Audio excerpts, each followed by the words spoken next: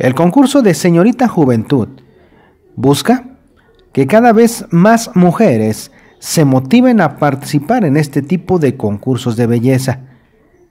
Es la finalidad que se busca por parte de la secundaria al realizar este tipo de eventos.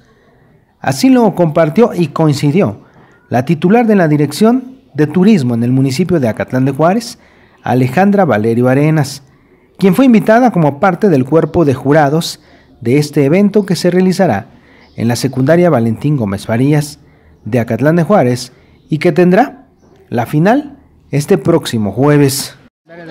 Así es Alejandro, eh, agradezco la oportunidad a los organizadores de la Escuela Secundaria Valentín Gómez Farías que como parte de representación del ayuntamiento me hicieron la invitación como directora de turismo a participar en el jurado.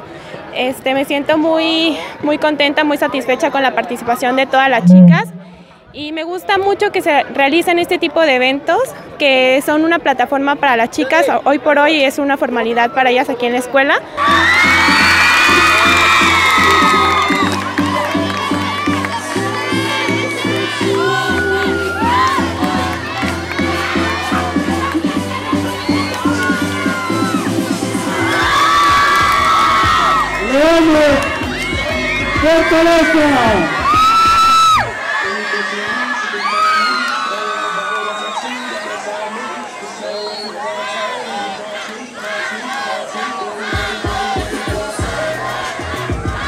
Pero pues más adelante nos van a representar también a nivel estado. Entonces como directora de turismo es muy importante que también le demos la oportunidad a las chicas y seguirlas motivando para que crean en sí mismas y nos representen tanto físicamente como intelectualmente. Entonces, pues muchas felicidades a las chicas y yo estoy muy feliz de estar aquí. El próximo jueves a las 9 de la mañana se va a llevar la segunda etapa de este certamen.